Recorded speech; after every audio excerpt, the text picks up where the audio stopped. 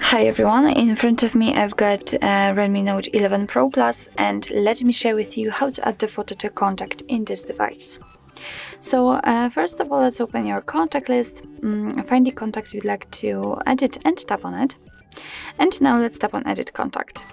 Uh, pick this camera icon right in the middle and as you can see uh, here we've got two different options from which we can choose. So we can either take a photo and then your device will open the camera app. Mm, so this is the best option to choose if you've got the person right in front of you and if you're able to catch a photo of him or her.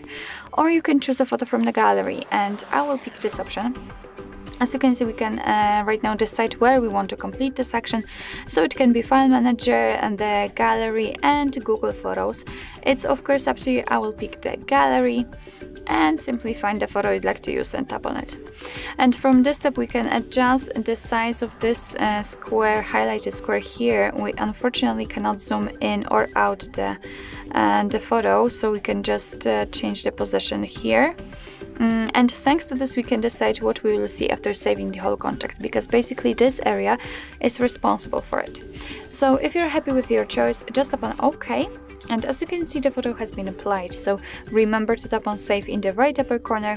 And as you can see and this is our contact with the photo applied. What's more it will be uh, visible on the contact list and you will be able to see it whilst all incoming calls from that number for example. So actually this is it. This is how to add the photo to a contact in your redmi note 11 pro plus Thank you so much for watching, I hope that this video was helpful and if it was, please hit the subscribe button and leave the thumbs up.